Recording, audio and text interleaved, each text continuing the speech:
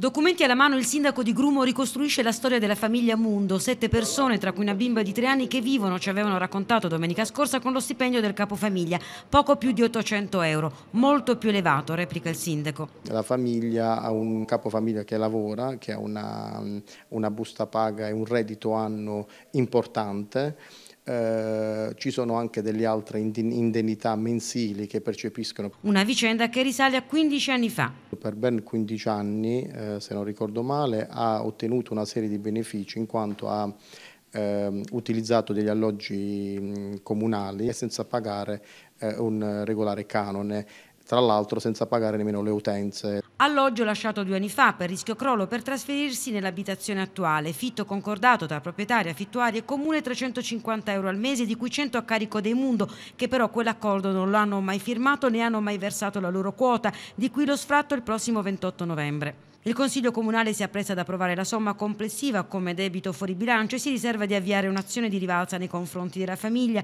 Dal 2010, spiega il Sindaco, ci siamo ridotti in comune l'indennità del 52% per aiutare chi ha bisogno e il prossimo anno si farà fronte all'emergenza abitativa con la costruzione di 24 alloggi comunali da assegnare con un bando alle persone in difficoltà.